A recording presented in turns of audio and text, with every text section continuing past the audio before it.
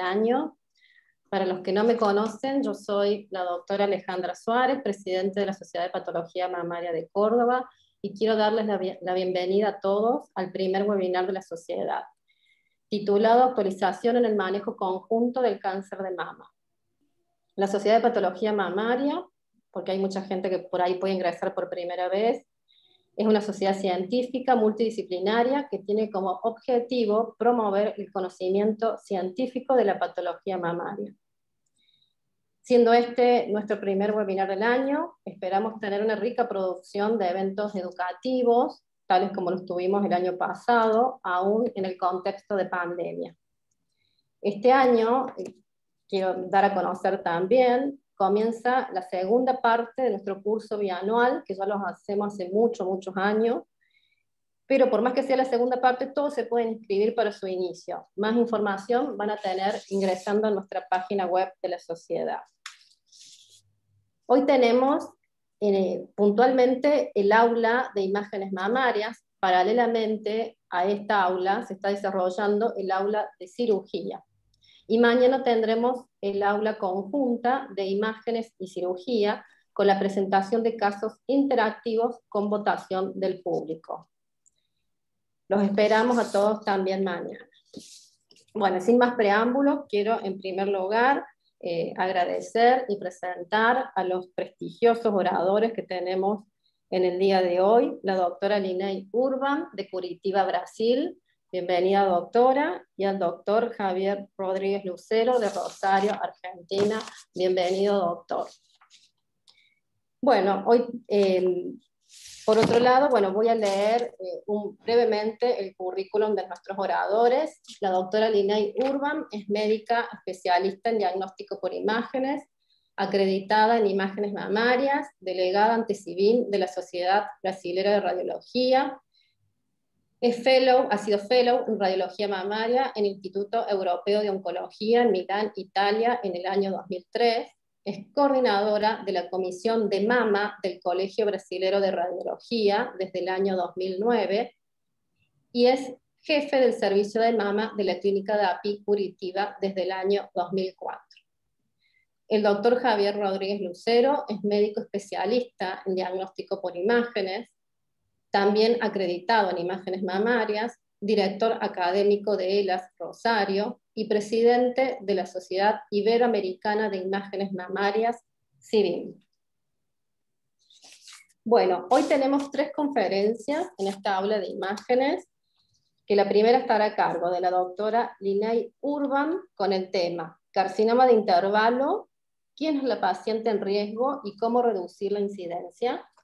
La segunda charla estará a cargo del doctor Javier Rodríguez Lucero con el tema carcinoma in situ, manejo multimodal. Y por último, la tercera charla, también a cargo de la doctora Linay Urban, con el tema carcinoma inflamatorio. Vamos a hacer las tres charlas consecutivas y luego habrá una ronda de preguntas de parte de los asistentes y participantes, que los invitamos a todos a participar, a no tener miedo, a dejar las preguntas y después con la doctora Baladino nosotras se las podremos hacer a los oradores. Donde dice chatear, ahí le pueden dejar la pregunta, que puede ser pública o privada, sin miedo que nosotros eh, con mucho gusto se las leeremos a los oradores y así eh, nos sacan las dudas que todos tengan. Bueno, adelante doctora, si ya está lista, podemos comenzar. Muchas gracias. Gracias, hola a todos. Inicialmente, me gostaria de agradecer-lhes a invitação. É um prazer e um honor estar aqui, falando de um tema tão importante com tantos amigos. Também peço desculpa porque o meu portunhol não é muito bueno, é malo. Mas falaremos de um tema muito importante a partir de agora. O tema é carcinoma de intervalo, carcinoma de intervalo, que é e como reduzi-los. Bem, quando estamos em frente de uma paciente com carcinoma de intervalo, estamos em frente de uma paciente em uma situação difícil. Por quê? Porque a paciente crê em los benefícios do rastreio, detecção precoce, tratamentos menos agressivos, é, maior, é, menor mortalidade. Porém, tem é, uma lesão palpável detectada, ou seja, provavelmente um tumor avançado e necessita de um tratamento agressivo, ou seja, é uma situação muito delicada. E esta situação não é pouco frequente, é bastante frequente, porque os diversos estudos nos mostram que é, temos ao menos 22 a 33, ou seja, um terço dos tumores diagnosticados como palpáveis em um programa de rastreamento. Mostro a ustedes essas duas meta-análises, primeiro, daqueles é, trabalhos inicial, com um quarto dos tumores como carcinomas de intervalos, ou seja, diagnosticados clinicamente.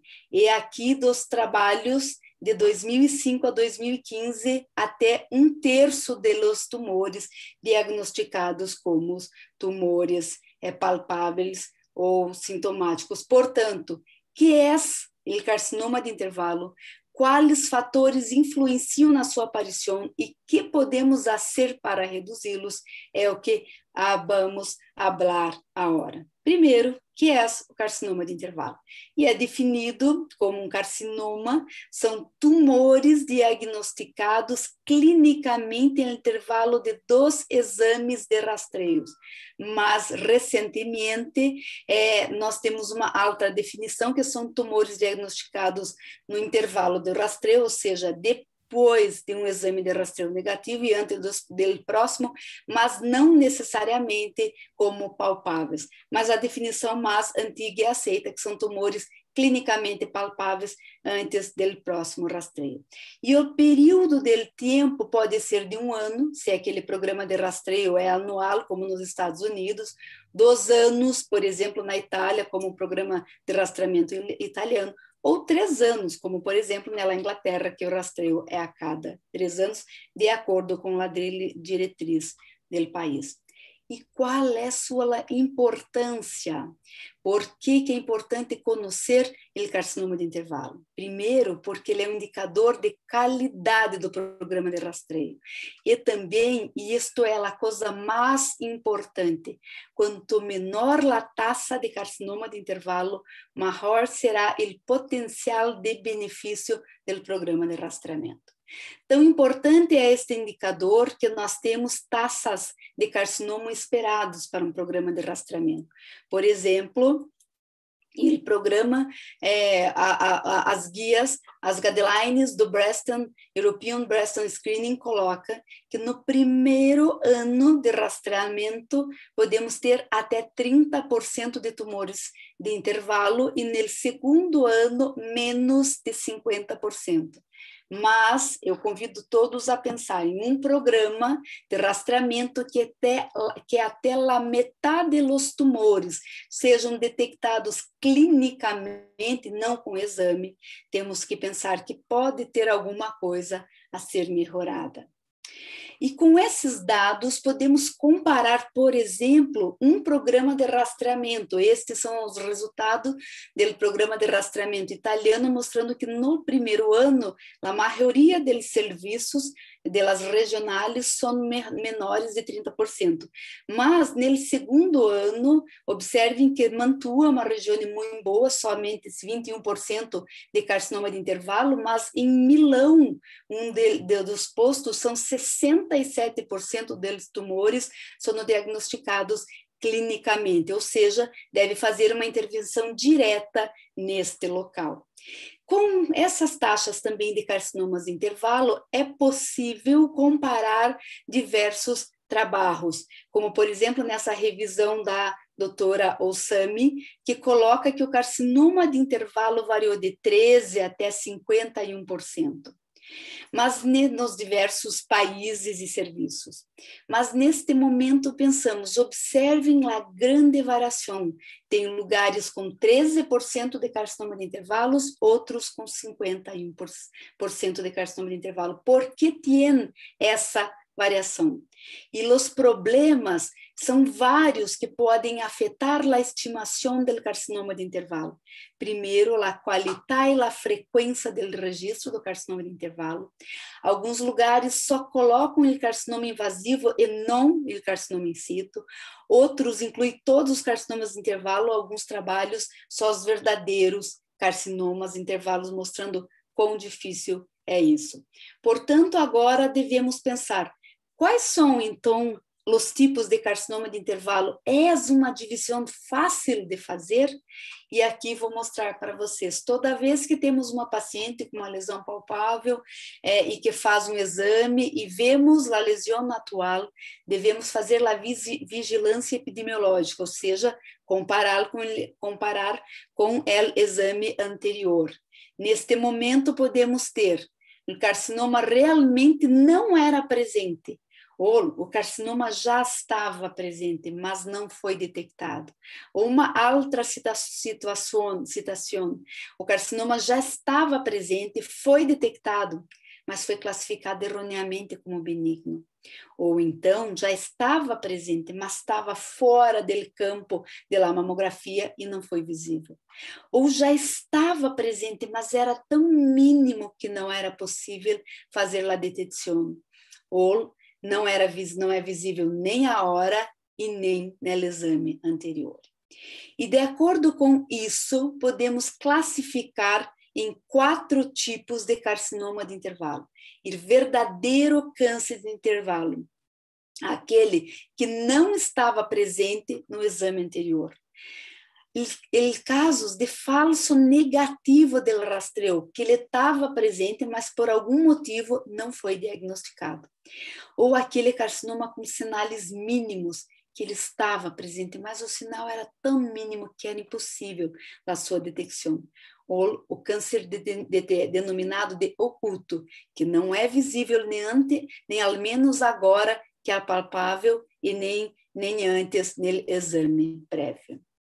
É, mas essa divisão não é fácil. Observe que esses três artigos dividem em todas as quatro modalidades e os percentuais de verdadeiro câncer de intervalo e outros são semelhantes. Já esses outros, esse outro artigo só, só em três tipos e esse outro artigo só em dois tipos. Vejam como é difícil. E essa divisão realmente é difícil porque observem esses dois grandes estudos, o rastreamento sueco e o rastreamento inglês.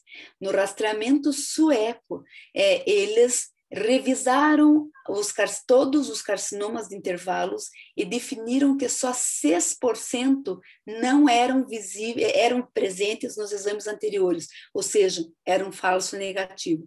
Já na Inglaterra, 43, quase a metade dos tumores eram visíveis no exame anterior e não eram agora.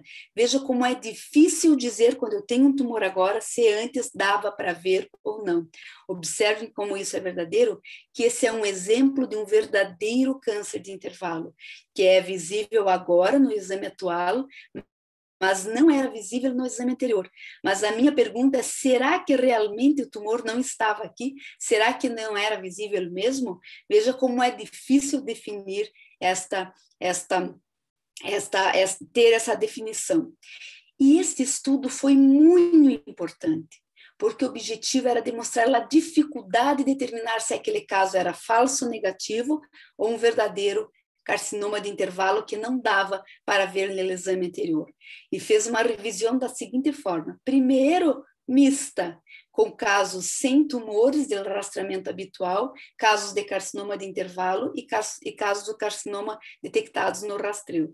Primeiro individual, depois em grupo, e com os mesmos médicos fez uma revisão é, informada, ou seja, só os casos de carcinoma de intervalo que, que observaram? Que quando eles colocaram casos de carcinoma de intervalo, carcinoma de screening e casos negativos, ou seja, eu tenho uma lesão, mas eu não sei se era um tumor ou não, a certeza que era possível ver o tumor no exame anterior era de 19 a 23%.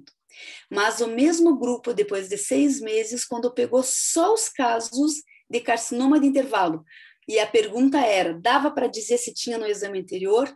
Eles afirmaram quase o dobro das, das vezes, em 33 a, 5, a 35% das vezes, que era possível ver o carcinoma de intervalo. Ou seja, quando você sabe que tem um tumor agora, é muito fácil dizer que estava no exame anterior. E isso é importante do ponto de vista de processo médico-legal, uma declaração e uma sentença de um juiz para determinar, e ele, este juiz é, declara que para determinar se um médico foi negligente, a pergunta não é se a lesão era visível ou não, pero se na condição que estava o médico, com uma pilha de exame, de mil exames de rastreio e só quatro que serão positivos, era possível detectar o tumor? Esta é a pergunta certa. Portanto, agora, para efeitos práticos, vamos dividir os carcinomas de intervalos em dois tipos: em verdadeiros câncer de intervalos e falso negativos, ou seja, aquele tumor detectado antes do próximo rastreio e não presente no exame interior, ou seja, o verdadeiro câncer de intervalo do falso negativo, que foi detectado agora, mas que já era visível no exame anterior. Portanto, vamos perguntar primeiro qual é o perfil das pacientes com verdadeiro carcinoma de intervalo? Quem são essas pacientes? A maioria são jovens, em comparação com aquelas que têm o tumor detectado. Observem que este é um trabalho muito grande de uma revisão solo só, solo por carcinoma de intervalo, onde 21% era o carcinoma de intervalo entre 40 e 50 anos e somente 7 acima de 60 anos, ou seja, três vezes mais carcinomas de intervalo em pacientes jovens a maioria das pacientes com verdadeiro carcinoma de intervalo que não dava para ver antes são pacientes que têm baixo índice de massa corpórea. Ou seja, vejam que as pacientes magras têm 18% de carcinoma de intervalo, já as pacientes mais obesas têm menos carcinomas de intervalos e mais tumores hormônios positivos. A maioria tem mamas densas, e este é, é fácil de saber por quê, ou seja, com a mama com a mama lipossubstituída, solo 6% de carcinoma de intervalo, com a mama densa, três vezes mais de carcinoma de intervalo, porque não é possível ver as lesões de forma adequada. A maioria do paciente com verdadeiro carcinoma de intervalo tem história familiar e alto risco genético. Observem como realmente a incidência de carcinoma de intervalo no grupo com, com alto risco é muito maior. E qual é a característica destas pacientes que vão ter falso negativo? Quais são as pacientes que devemos, que devemos ter muito cuidado? Primeiro, este trabalho avaliou exatamente isso e mostrou que o falso negativo foi estatisticamente significativo. Se lá a paciente tinha uma história de reconvocatória, ou seja, tinha alguma coisa diferente na, nela mama, que alguma coisa foi pensado que era benigno, ou uma história de biópsia, ou seja, era uma mama difícil de ser avaliada, que já tinha alguma coisa mais complicada, ou seja, esta paciente que tem mais chance de ter um tumor falso negativo que não é identificado no rastreamento, e essa diferença é bem significativa nas pacientes que não têm.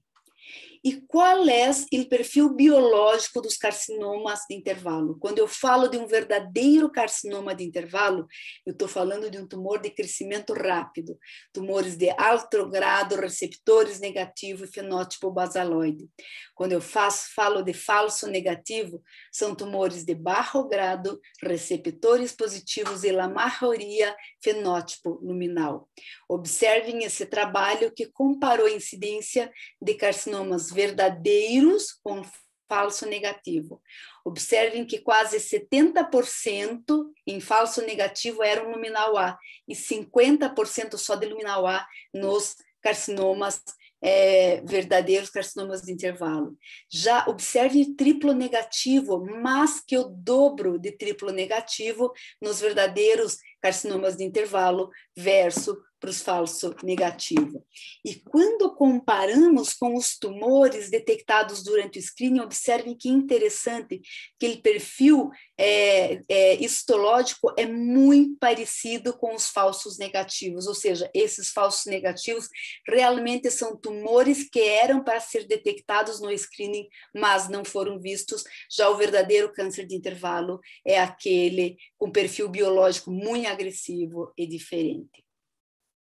Quando falamos de mas um detalhe chama muito a atenção. Quando falamos de verdadeiro câncer de intervalo, nós observamos que naquelas mamas de baixa densidade, eles são mais agressivos que nas mamas de alta densidade.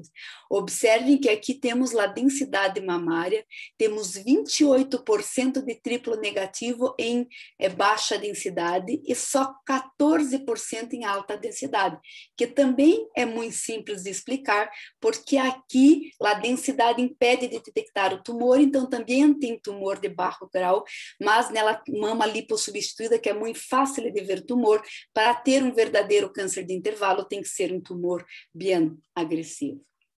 E será que este perfil molecular se manifesta numa mortalidade maior nela paciente com verdadeiro carcinoma de intervalo? E sim, a sobrevida em 10 anos dos tumores detectados no rastreamento sempre é melhor do que todos os outros tumores. Já o tumor de intervalo e aqueles detectados fora do rastreamento clinicamente são as piores, é, as piores sobrevidas. E observem que interessante, esse foi um controle em 14 anos de mortalidade, observando que, novamente, a mortalidade de tumores detectados no screening muito melhor, muito melhor. A seguir, a mortalidade dos verdadeiros câncer de intervalo, um pouco melhor, e a pior, pior mortalidade, o falso negativo o que faz pensar, como sabemos que o falso negativo é muito parecido com os tumores detectados durante o screening, que esses tumores mais bem diferenciados têm tempo para ser detectados. Depois daqueles tempos, a sobrevida é, é pior. Ou seja, a nossa responsabilidade no screening é muito maior, porque é importante detectá-lo no estágio adequado. E qual é a diferença de imagem de carcinoma de intervalo verdadeiro para falso negativo? Sim, carcinoma verdadeiro vai ser aquele típico triplo negativo, nódulos circunscritos, calcificações suspeitosas. Já falso negativo são lesões mais difíceis de serem visualizadas, como a simetria focal, mas também nódulos circunscritos. Esta é uma paciente de 41 anos, irmã com neoplasia de mama, amamentando o quarto irro, assintomática, mamografia e ultrassom negativa mas ela retorna sete meses depois com nódulo palpável na mama direita. Observem que realça muito precoce, um decaimento muito grande, com uma área de necrose central, realce periférico e com uma curva tipo 3. Era um carcinoma invasivo, pouco diferenciado, triplo negativo, ou seja, um verdadeiro carcinoma intervalo. Já essa paciente refere uma área palpável no exame atual. Quando viemos o exame anterior, tinham duas lesões que foram interpretadas como benignas. Uma realmente era, não era nada, mas a outra era um tumor que é nada mais do que um falso negativo, já com linfonodo positivo neste exame. Já esta paciente retorna depois de dois meses, referindo que o médico palpou um nódulo durante o exame clínico, quando ela levou os exames é, para avaliação. E veio para uma nova avaliação. Esse era o exame inicial com marcadores cutâneos de lesões, e observem que este é o exame atual, que não foi visualizado porque ficou fora do campo do exame. Falso, negativo. E será que a introdução de novas tecnologias pode resolver este problema? Observem que a mamografia digital não alterou significativo o número de carcinoma de intervalo, ou seja, não houve diferença no total de carcinoma de intervalo pela mamografia digital eh, e lá mamografia convencional. Ó, verdadeiro carcinoma de intervalo igual, carcinomas falso negativo igual e com sinal mínimo também, sem diferença mamografia digital e convencional. Será que a tomossíntese altera o carcinoma de intervalo? E aqui alguns estudos demonstram que teve e outros que não teve alteração. Esse é um dos primeiros estudos mostrando que o carcinoma de intervalo reduziu de 0,7 para mamografia para 0,5 e, e autores concluíram que sim, a é sustentável porque tem uma redução. Mas observem que estes outros estudos de 2020, com um número grande de mulheres, demonstrou dois carcinomas de intervalo no grupo com tomossíntese e 1.5 no grupo de mamografia. Vejam que a detecção da tomossíntese foi maior no primeiro round, menor, com dois carcinomas de intervalo. A mamografia foi 6, 5 e 1 carcinoma de intervalo. Ou seja, não houve diferença da tomossíntese da mamografia e também não houve diferença histológica. E quando pensamos, uma razão seria que a tomossíntese é uma evolução da mamografia, ou seja, aumenta a detecção das lesões de baixo grado, né? Pero não logra aumentar a detecção do tumor de alto grado relacionado ao carcinoma in que fica mais para ultrassom e para ressonância. Por outro lado, devemos lembrar que a tomossíntese melhora sim o rastreio, porque reduz problemas como reconvocação, biópsias desnecessárias. E já ultrassom, sim, tendo uma redução importante do número de carcinoma de intervalos. Observem esse trabalho, que fez só a mamografia para pacientes com baixa densidade, teve um carcinoma de intervalo a cada mil exames. Quando o grupo de alta densidade fez mamografia, e fez ultrassonografia e conseguiram retornar o número de carcinoma de intervalo como se fossem as pacientes de baixa densidade, ou seja, o ultrassom é, reduz carcinoma de intervalo no grupo de mama densa a taxas semelhantes às mamas lipossubstituídas. E a ressonância também reduz o carcinoma de intervalo. Observem que, inicialmente, solo com mamografia, 50% dos tumores eram detectados de forma palpáveis, como carcinoma de intervalo nas pacientes de alto risco, e agora, com a introdução da ressonância, o carcinoma de intervalo está de 0 a 2, 5%, uma redução muito importante. Portanto, finalizando a nossa conversa. Primeiro, quem é a paciente de risco de carcinoma de intervalo? Quando falamos de verdadeiro carcinoma de intervalo, ela é paciente jovem, com mamas densas e de alto risco. Quando falamos de falso negativo, são todas as pacientes, mas principalmente aquelas que têm história de reconvocatória ou de biópsia prévia. Como reduzir a incidência de carcinoma de intervalo? E para verdadeiro carcinoma de intervalo, não tem muitas coisas que o radiólogo possa fazer, porque não depende da habilidade do radiólogo, é um tumor agressivo. Depende muito mais de uma atitude da mulher para detectar sintomas e da redução do intervalo do rastreio e a introdução de novas tecnologias, como ultrassonografia para as mamas com padrão denso, ressonância magnética para pacientes de alto risco e modelos predictivos de risco, por exemplo, baseados em inteligência artificial que vão cambiar, fazer um câmbio muito grande no rastreio. Já falso negativo, sim, depende da habilidade do radiólogo. É muito importante ter uma, um volume adequado, um conhecimento adequado da mamografia, introdução de dupla leitura, auditoria do resultado. Programas de inteligência artificial também vão melhorar muito a nossa performance e reduzir o carcinoma intervalo.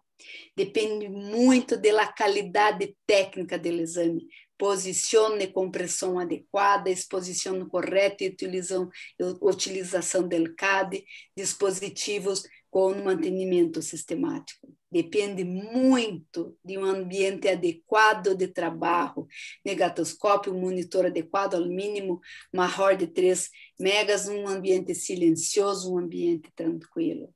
E também muito importante a participação de programa de qualidade e a auditoria, porque quando sabemos que temos programas de qualidade, nós outros fazíamos um, um lavoro mais atencioso. No futuro, o que, que podemos ter? observaremos que provavelmente o rastreio do futuro será desta forma: paciente de risco, todas elas farão tomossíntese. Né? Isto é uma coisa muito importante.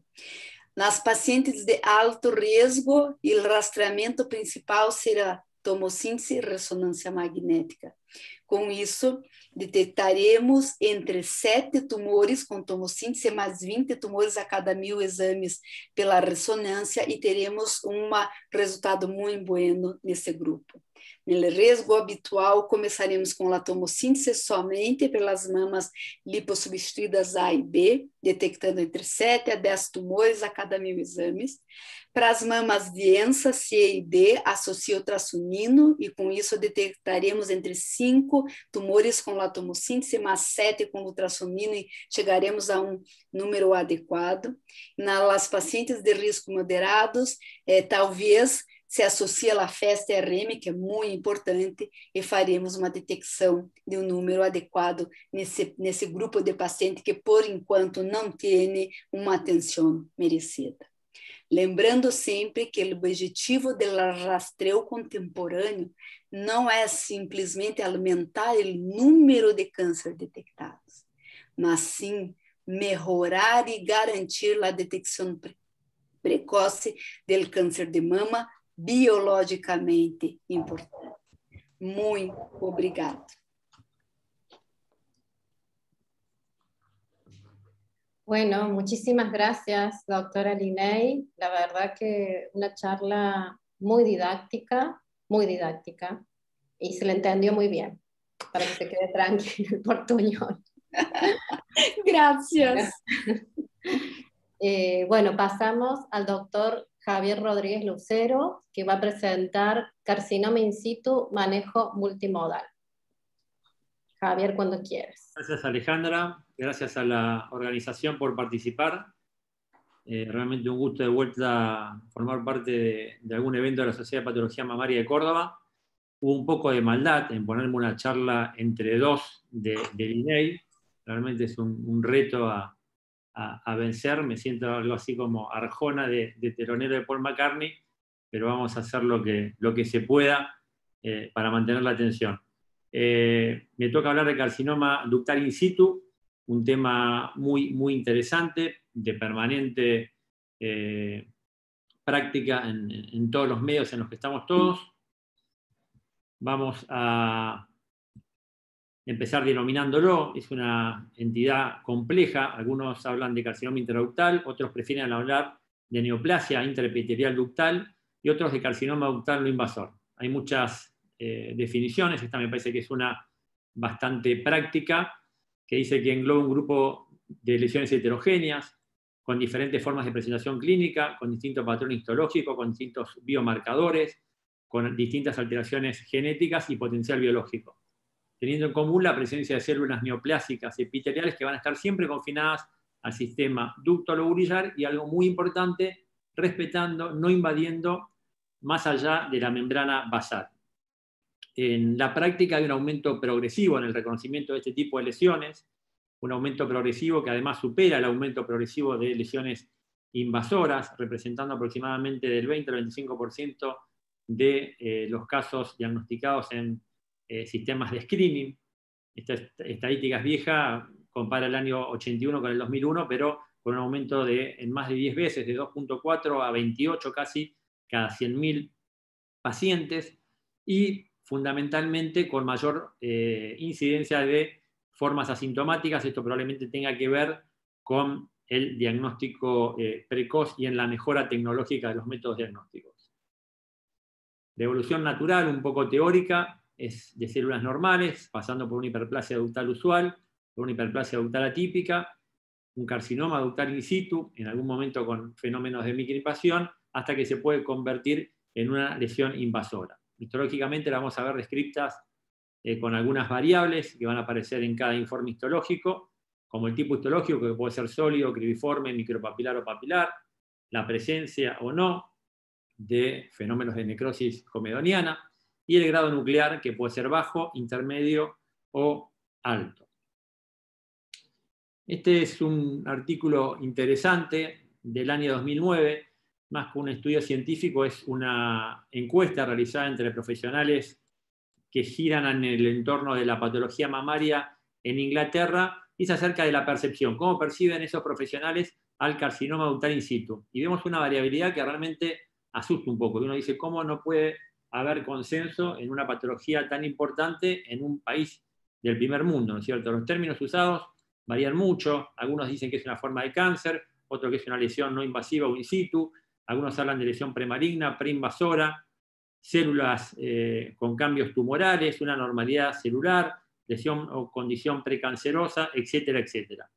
Y algo importante también es cómo ven las distintas subespecialidades si representa o no un cáncer.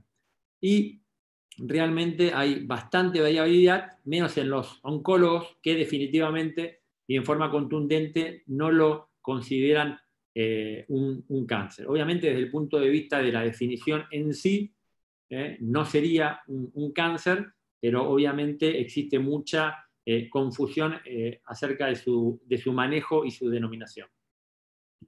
Por otro lado, si bien se, lo banaliza de cierta manera. Este es un artículo importante donde correlaciona la incidencia de carcinoma ductal in situ con mortalidad por cáncer de mama. Y en este grupo canadiense notaron que existe un aumento en tres, o sea, las pacientes con antecedente de carcinoma in situ de mama van a tener una mortalidad por cáncer de mama tres veces mayor que las que no lo tuvieron, o sea, es un aumento no despreciable. Y si el diagnóstico fue por debajo de los 40 años, el número va a ser por, por 7, o sea, un aumento muy importante. Y obviamente la mortalidad va a depender mucho si el tratamiento fue solamente quirúrgico o si fue quirúrgico más radioterapia. Entonces, algunas preguntas que nos pueden surgir. ¿Existen realmente más casos reales o hay más detección? ¿Este aumento es espontáneo o se asocia a un mayor uso de la mamografía? ¿Es una entidad no invasora? ¿Es una entidad precursora? Es una entidad preinvasora, en qué porcentaje puede eh, crecer hacia una forma invasora, qué subtipos hay, si todos merecen el mismo tratamiento y si todos merecen el mismo enfoque y eh, algoritmo diagnóstico. Esto es un trabajo del, del, Anderson reciente que me pareció muy gráfico, a lo mejor para los patólogos es medio básico, pero para los radiólogos creo que nos ayuda mucho a entender un poco el porqué de las imágenes. Acá lo que hace es comparar el, eh, el comportamiento imagenológico de lesiones tipo no masa del in situ y del lobular, del carcinoma lobular invasor, que si bien son entidades totalmente distintas, pero tienen una dificultad desde el punto de vista imagenológico para reconocerlo. En el ejemplo A es una unidad ducto lobulillar con células epiteliales totalmente normal. En el ejemplo B es un carcinoma lobular invasor donde existen células tumorales epiteliales que invaden el estroma eh, adyacente, invadiendo la membrana basal y muchas veces formando líneas o hileras sin reacción peritumoral y por ende con menor repercusión imagenológica.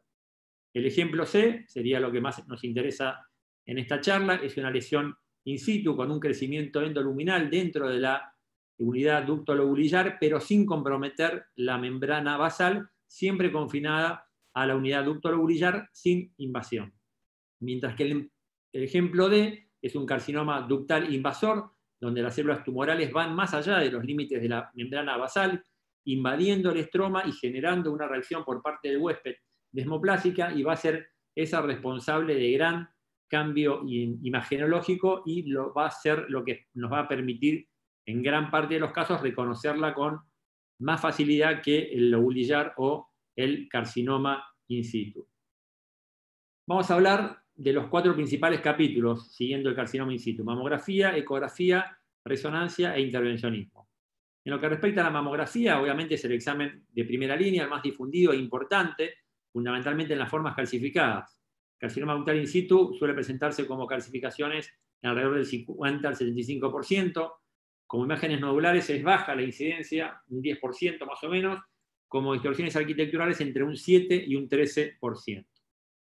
Tenemos que tener en cuenta un detalle que la mamografía va a reconocer fundamentalmente calcificaciones, espículas, distorsiones, y todos estos son fenómenos regresivos que involucran hipoxia, necrosis tumoral, fibrosis, y por ende van a estar asociadas a lesiones de lento crecimiento y probablemente de menor grado nuclear, y acá surge por primera vez la eh, duda o pregunta si la mamografía favorece o no el sobrediagnóstico. Algunos ejemplos, un grupo cálcico circunscripto de calcificaciones puntiformes y amorfas, eh, en un muy pequeño sector de la mama, resultó un carcinoma intraductal de alto grado con patrón sólido, tenía necrosis comedoniana y calcificaciones endoluminales en la biopsia compasiva. Otro ejemplo de carcinoma intraductal, en este caso de grado intermedio, una paciente portadora de una mutación BRCA2, ya tenía una biopsia percutánea previa, y este reguero de calcificaciones puntiformes y amorfas, que además de las características que llaman la atención la variabilidad en cuanto a morfología y tamaño de las calcificaciones, tenemos que tener en cuenta la coexistencia de dos patrones de distribución que nos tienen que llamar la atención, independientemente de la mutación. Obviamente que eso va a sumar y siempre. Un patrón que en cierta manera podemos decir lineal y en cierta manera segmentario, ¿eh? con un vértice hacia el complejo pezón areola, una base posterior, ¿eh? siguiendo un poco lo que es la eh, descripción de la segmentación lobar de la mama de, de Es muy importante y es muy gráfico el caso para seguir y entender un poco la anatomía y la fisiopatología de este tipo de lesiones. Otro ejemplo, en este caso, calcificaciones de alta sospecha, un carcinoma intraductal micropapilar y cribiforme grado intermedio y alto, con necrosis comedoniana y no comedoniana y obviamente presencia de calcificaciones en la biopsia percutánea.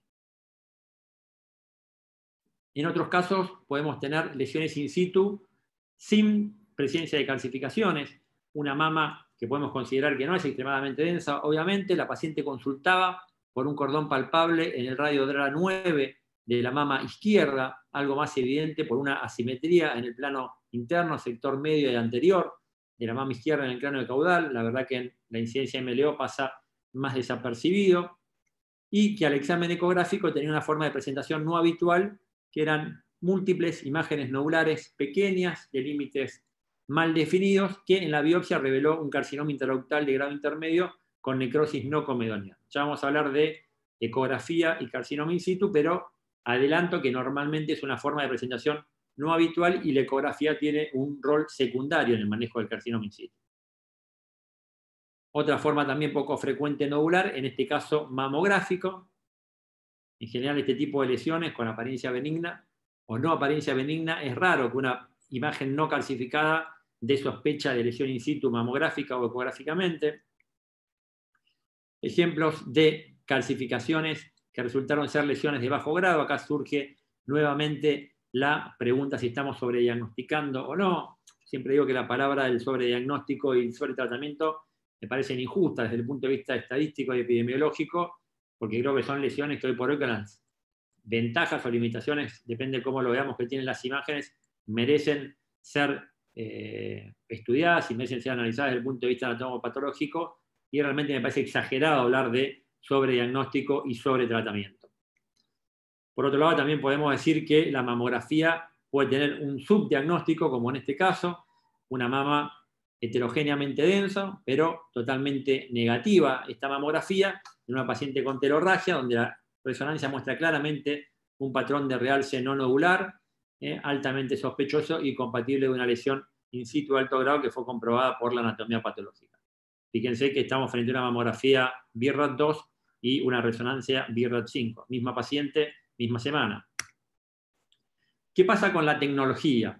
¿Qué impacto tiene la tecnología en la detección de carcinoma in situ? Este es un artículo viejo, uno de los primeros que salió acerca de la mamografía digital eh, directa, después del de Pisano, que el de Pisano decía que a los fines prácticos era tan eficaz como la, la convencional, pero acá ya con mamografía digital directa, Vigeland decía que la detección de carcinoma in situ, comparando mamografía convencional con mamografía directa de campo completo, prácticamente la detección se duplicaba. ¿eh? O sea que tenemos un impacto con la mamografía digital directo, por obviamente mayor capacidad de percibir imágenes cálcicas pequeñas, tenues, incipientes. Este es otro artículo, pero mucho más nuevo, donde habla del carcinoma in situ comparando mamografía digital, pero en este caso con tomosíntesis. Y acá obviamente la tomosíntesis no tiene tanto impacto, sí puede llegar a colaborar en detectar un componente invasor asociado a imágenes cálcicas, a, disminuir el número de falsos positivos por eh, rellamadas, pero no necesariamente a una mayor detección de lesiones in situ. Sí lo hace la mamografía digital directa. ¿Qué pasa con la ecografía?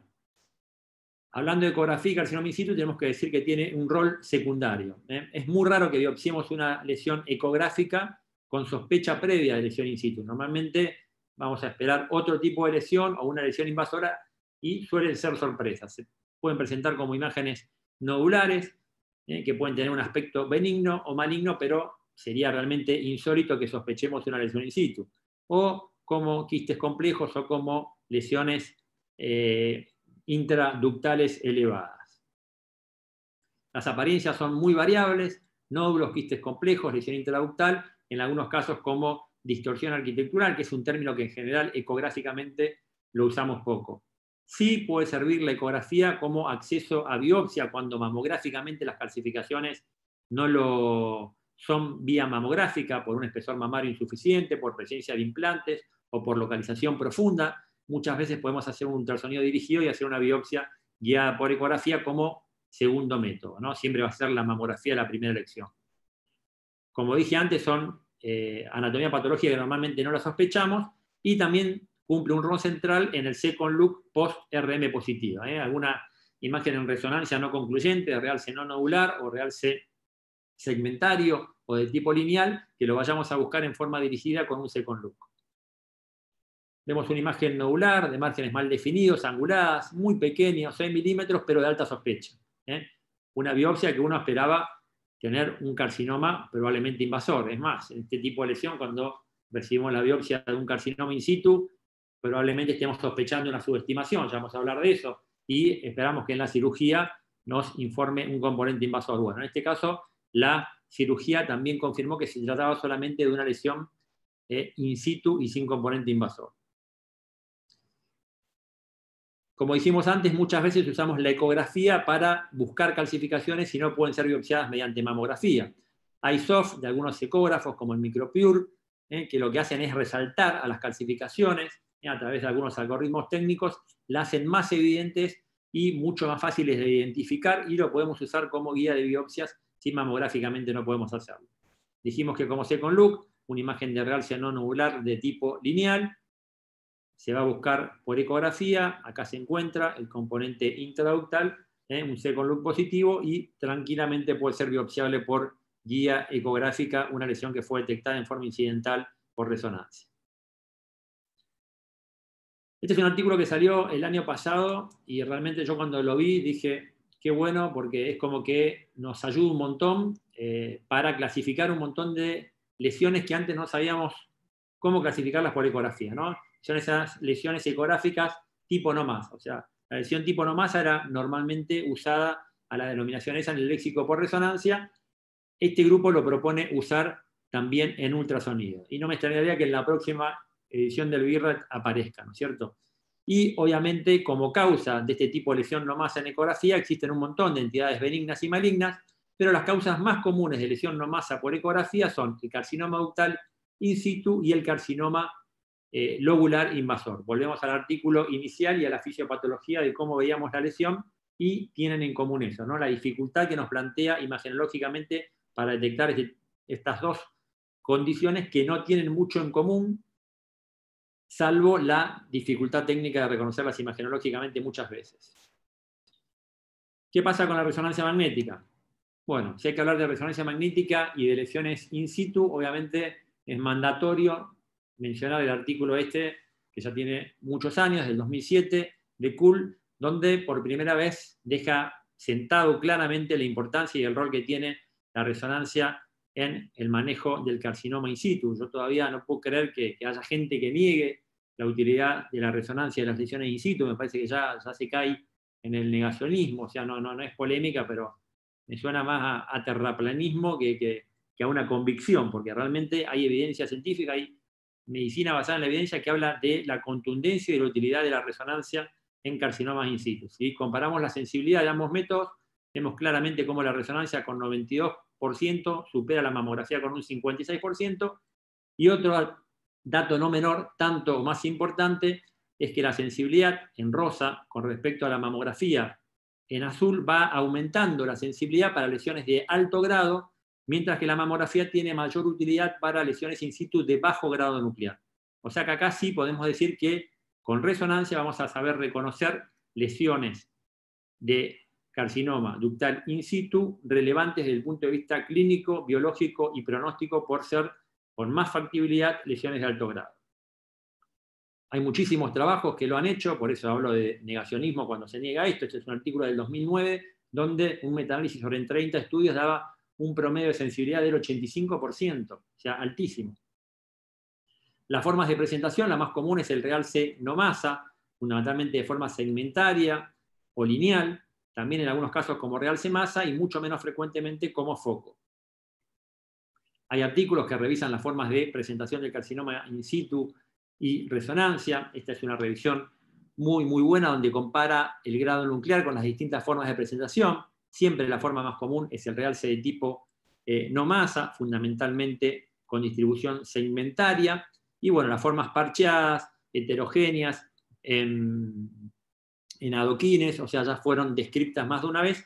Y últimamente, en la última edición del BIRAT, eh, la introducción del realce en anillo agrupado como una forma muy sugestiva de lesión in situ de alto grado.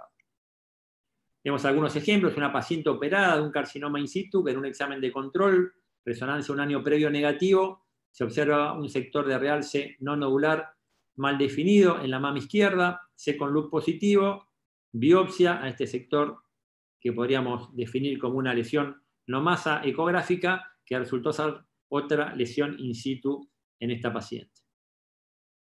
Otro caso, una mama compleja, muy densa, con una mamografía eh, que no hice nada y una palpación positiva sobre el cuadrante superexterno de mama izquierda y un examen de ecografía negativo. Esta es la resonancia de esta paciente. Cuando se niega la utilidad de la resonancia en el carcinoma in situ, uno se acuerda muchas veces de estos casos, ¿eh? que realmente cuando uno por ahí hace volumen, tiene varios casos al año como estos y, realmente los biopsia a ciegas por ecografía, haciendo una excursión amplia de la aguja entre toma y toma y normalmente llega a un diagnóstico eh, siempre muy certero. Fíjense la extensión, fíjense el grado del compromiso y la intimidad que tiene con el complejo pezón-areola, fíjense el vaso centinela, cómo está aumentada la vascularización de la mama, fundamentalmente a expensas del territorio mamario interno. Todo clarísimo. Volvamos a la mama. Fíjense en este caso la información que brinda la mamografía y la información que brinda, en este caso, la resonancia. Perdón. Un ejemplo de enfermedad de Payet, un realce no nodular de tipo lineal, retroareolar izquierdo, con ecográfico, también una imagen tipo no masa, distribución lineal, biopsia positiva. Mm, obviamente que en el Payet la resonancia no es diagnóstica, es un diagnóstico clínico, histológico, sí es importante desde el punto de vista de hacer un diagnóstico de extensión y un mapeo prequirúrgico eh, para, programar en forma más fehaciente y efectiva la cirugía. Los casos de carcinoma ductal in situ extenso, los casos de resonancia prequirúrgica, donde muchas veces la paciente consulta por una imagen de realce nodular ya biopsiada, pero uno encuentra asociado un componente ductal in situ extenso no reconocido mamográficamente ni ecográficamente, normalmente se presenta como áreas de captación lineal con múltiples lesiones satélites, formación de puentes o anillos agrupados y normalmente son lesiones de alto grado. ¿Eh? En flecha roja mostramos las lesiones invasoras, en el óvalo amarillo las lesiones in situ. Obviamente nosotros no estamos desde el punto de vista imagenológico para diferenciar componente invasor y componente in situ, pero sí con mucha eh, factibilidad, en muchos casos podemos sospecharlo y diferenciar el, componente invasor del, del in situ. Este es un artículo japonés antiguo donde por primera vez se habla del realce en anillo y el alto valor predictivo positivo de eh, carcinoma eh, in situ, sobre todo en pacientes con telorragia, ¿eh? este patrón de múltiples anillos tipo panal con realce, es característico de carcinomas in situ alto grado. Esto apareció en la quinta edición del BIRAT después. Algunos artículos que hablan de la posibilidad de la resonancia, estos son también casos de realce en anillos agrupados, para diferenciar algunos componentes microinvasores o invasores por algunas características de la lesión. Si hablamos de intervencionismo, para ir terminando, siempre muestro este ejemplo cuando leo de intervencionismo, perdón si, los tengo aburridos, pero me parece que es muy didáctico y que muchas veces ayuda a diferenciar lo que es el, el falso negativo de la subestimación. Esto con fines pura y exclusivamente didácticos. Es un grupo cálcico altamente sospechosa por una lesión in situ, pero podríamos decir que dentro de este sector mamario pueden coexistir distintas lesiones histológicas que van desde tejido normal hasta una atipia epitelial plana, una hiperplasia ultratípica, un componente in situ o un componente invasor que obviamente si se asocia a esta lesión in situ va a ser el que le da el nombre, el apellido y la denominación a la lesión por ser la lesión de mayor eh, jerarquía. Dependiendo la biopsia que hagamos, eh, si no tomamos ningún tipo de lesión y tomamos solamente parénquima normal, estaríamos frente a un falso negativo. Pero si el diagnóstico por biopsia percutánea informa un carcinoma in situ y la biopsia ulterior quirúrgica un carcinoma invasor, estaríamos frente a un caso de subestimación. Sea, esa discrepancia entre la biopsia percutánea y la biopsia quirúrgica no es un error, no es un fracaso del método, sino que diría que es una limitación del método y hay que saber que forma parte del juego y hay que saber también sospecharle cuáles son los eh, factores que pueden hacer que exista esta subestimación y claramente manejarlos, comunicarlos y tenerlos en cuenta, por ejemplo, a la hora de planificar la cirugía para ver si esa paciente merece o no un ganglio centinela. Este es uno de los artículos más importantes, un metaanálisis para evaluar la, subestimación.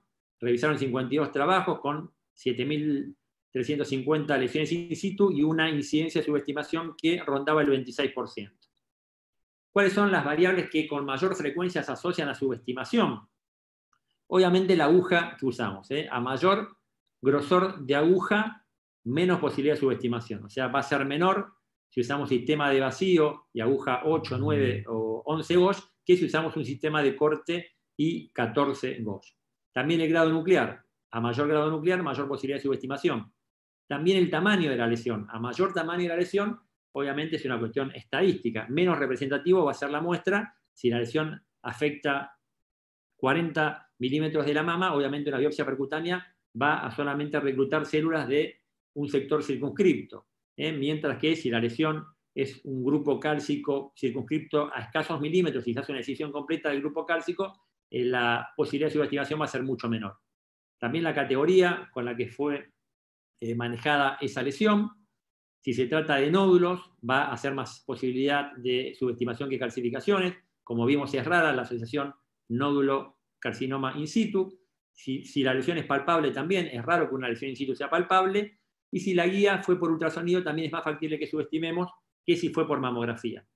Y acá no cuenta la guía imaginológica en sí, sino cuenta que normalmente los procedimientos por ultrasonido son guiados con aguja de corte, mientras que los por mamografía suelen ser por sistema de vacío y mayor calibre de aguja. O sea que en realidad la lectura acá debe hacerse combinada con el calibre y no solamente con el método usado.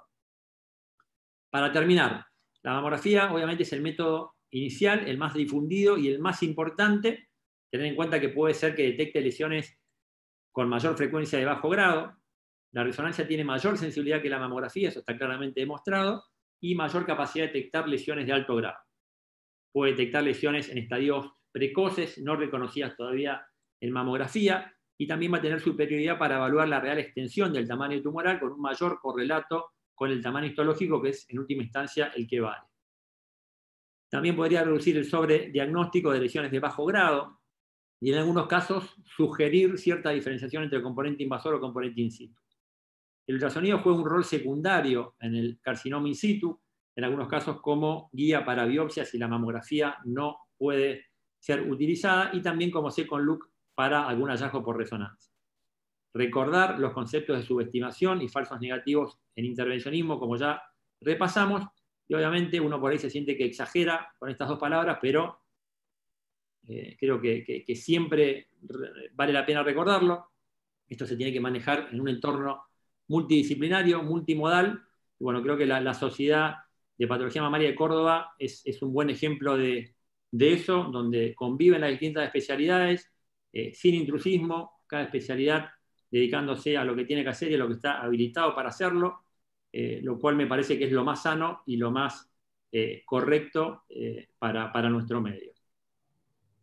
Eh, aprovecho para invitarlos a todos. A partir del lunes 5 de abril vamos a hacer un curso virtual, eh, virtual con Civim y, Access, con, charlas muy interesantes, con invitados eh, también que creo que, va a ser muy importante. Empezamos el lunes 5 de abril, la inscripción la pueden hacer en la página de, de Civim y están todos invitados. Nada más y muchas gracias por mi parte. Excelente presentación, Javier. Eh, como siempre, claro en, los conceptos y, este, y comparto yo con Javier mucho de su fanatismo con la resonancia en el carcinoma in situ. Así que, bueno, muchas gracias este, por, por, la presentación. Ahora, Ale, vos presentás a Linei en la charla que sigue. Sí, sí. Continúa la doctora Linei Urban con el tema de carcinoma inflamatorio. Linay, quando quieras. Perfeito. Primeiro, é, devo dizer que a classe de Javier foi excelente. Parabéns, congratulations, Javier. Realmente muito, muito boa. Perfeito. Agora vamos falar sobre um tema muito importante carcinoma inflamatório. Por quê? Porque quando temos uma paciente com um diagnóstico de carcinoma inflamatório, estamos diante de um problema grande. Por quê? Porque o carcinoma inflamatório é a forma mais agressiva de apresentação do câncer de mama. Ele representa só 1% dos tumores, não obstante, representa 7% dos óbitos por câncer de mama. E pior é que, apesar do tratamento trimodal, químio, masté e radioterapia, ela sobrevida em cinco anos é, em cerca de 50%. Portanto, o que é realmente um carcinoma inflamatório? Quais são os critérios diagnósticos? Qual é o papel do radiólogo e qual é o diagnóstico diferencial por imagem nesses métodos que nós vamos falar agora? E o que é um carcinoma inflamatório? Por definição, é uma entidade clínico-patológica caracterizada por edema, eritema e pele de naranja, que, que abarca mais de um terço da mama com evolução menor que seis meses. Essa é a definição de carcinoma inflamatório. Pero nós temos alguns desafios diagnósticos. Primeiro, não existe critério histológico, molecular ou genético que defina o carcinoma inflamatório. E na ausência desses critérios, o diagnóstico depende completamente de critérios clínicos, e é este, penso, que seja o ponto mais difícil. Vamos ver, ele é muito bem descrito na classificação TNM, ou seja, qual é a classificação. Ela foi criada em 1958, atualmente está na oitava edição e é a classificação mais utilizada na prática na estadificação dos tumores com o objetivo de ver as pacientes de acordo com o prognóstico, baseada no T, no N de linfonódulos EM de metástases, e na última edição já também com aspectos de biologia molecular. Bem, quando falamos do T, vamos falar então do TX, tumor primário não pode ser avaliado, T0 não há evidência do tumor primário, TX, que é o carcinoma in situ, T1, é, T1 microscópico, que é aquele tumor abaixo de um centímetro, T1A, que é o tumor de menos de 1 até 5 milímetros, T1B até 10 milímetros, que é tumores que são os tumores que devemos é, diagnosticar em rastreamento até 10 milímetros para uma detecção precoce. T1C entre 10 a 20 milímetros, T2 entre 20 a 50 milímetros, T3 acima de 50 milímetros ou 5 centímetros, então vamos para o T4, que vai ter o quê? Extensão para a parede torácica, T4A, ulceração direta na pele, T4B, T4C ambos, quando está ulcerando a pele e a parede, e por último, o carcinoma inflamatório. E o que, que significa quando temos carcinoma inflamatório? Que a paciente é diretamente estadiada como estadio 4, é, 3B, ou seja, uma paciente com tumor avançado. Em resumo, como realizamos o diagnóstico do carcinoma inflamatório? Então, primeiro, se eu tenho uma paciente com edema, eritema com a pele de naranja, de início a menos de seis meses, que pode ser naquela fase mais inicial ou uma fase mais tardia, eu, eh, eu tenho uma paciente com suspeita clínica de carcinoma inflamatório. Próximo passo, a ser uma avaliação por imagem. Nesta avaliação por imagem, eu posso ver solamente a alteração da pele, solamente a alteração do, parênquima, sem nada na pele, porque não estou vendo o espessamento, não estou vendo nele exame espessamento. Eu posso ter lesão da pele e do parênquima, ou não posso, posso não ver nenhuma lesão visível na imagem. E mesmo em todas essas alternativas, eu continuo com suspeita de carcinoma inflamatório. E o próximo passo dessa paciente é biópsia da lesão primária, se tiver uma, e da pele. E no diagnóstico histológico, eu posso ver solamente embolia tumoral de linfáticos cutâneos, eu posso ver diagnóstico de um carcinoma invasor primário sem embolia de linfático cutâneos, e eu posso ver diagnóstico tanto do carcinoma quanto da embolia. Nos três casos, eu tenho uma confirmação de carcinoma inflamatório. Por quê?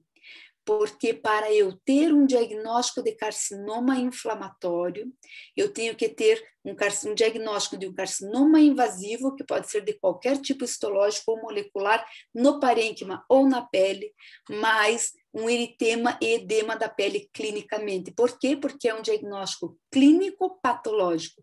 Só preciso desse achado clínico mais um diagnóstico de um tumor na mama. Se eu tenho um diagnóstico de carcinoma invasor na mama e vejo no meu exame de ressonância, por exemplo, um espessamento de pele, mas eu não tenho tradução clínica de edema e eritema, não é um carcinoma inflamatório, porque este não é um diagnóstico radiológico. Ou se eu tenho um diagnóstico de carcinoma é, invasivo, de qualquer tipo histológico, e eu vejo num pedacinho de pele, que, que de, de, de pele, que eu vi na minha biópsia, e eu vejo uma embolia linfática, mas eu não tenho a tradução clínica do edema, eu, não tenho um diagnóstico de carcinoma inflamatório, porque não é um diagnóstico histológico. Eu só tenho quando eu tenho um diagnóstico em qualquer parte da mama e uma alteração clínica da pele, porque é um diagnóstico clínico patológico. E segundo, a última edição do TNN, a presença de embolia nos vasos linfáticos sem a presença de câmbio de pele não deve ser classificado como carcinoma inflamatório e deve ser definido pelo tamanho tumoral tumores localmente avançados com invasão direta da pele ou ulceração, mas sem câmbio da pele, também não devem ser classificados como carcinoma inflamatório. Portanto, carcinoma inflamatório é um câmbio da pele rapidamente progressivo uma paciente que tem câncer de pele. Mas que coisa significa um diagnóstico de carcinoma inflamatório? Histologicamente, significa a presença de êmbolos tumorais em los vasos linfáticos da pele, que podem ser vistos ou estar presentes ou não na biópsia da pele, dependendo, é, porque nós pegamos uma parte muito pequena da amostra cutânea na biópsia. Então, pode ou não, mas histologicamente significa isso, é a presença de êmbolos tumorais. E a importância é porque denota a agressividade tumoral e deve ser classificado automaticamente como estadio 3B. Este era um critério muito útil no momento em que não existiam outros critérios. Existe uma explicação pela agressividade do carcinoma inflamatório, o que nós vemos é que o carcinoma inflamatório é um tumor altamente agressivo e com prognóstico reservado, e que tem um perfil histológico muito agressivo, muito mais tumores de alto grado, pouco diferenciado, um perfil molecular agressivo, muito mais HER positivo e triplo negativo, quase 50%, e um perfil genético muito agressivo. Muitas alterações genéticas que causam maior risco de invasão e metástase, um alto nível de fatores de crescimento vascular endotelial, é, sobreexpressão de alterações que contribuem para a formação de embolias tumorais e aumento de metástase, e também maior percentual de mutação que aumentam o risco para tumores avançados. Mas o problema não é que o carcinoma inflamatório tem esse perfil. O problema é que este perfil histológico agressivo, perfil molecular e genético agressivo, é que causam o carcinoma inflamatório, que é um câncer com maior tendência a metástase e, consequentemente, pior sobrevida e qual é o trata melhor tratamento nessa atualidade para o carcinoma inflamatório. E aqui nós temos uma evolução do tratamento. Primeiro, o tratamento era somente com mastectomia e radioterapia.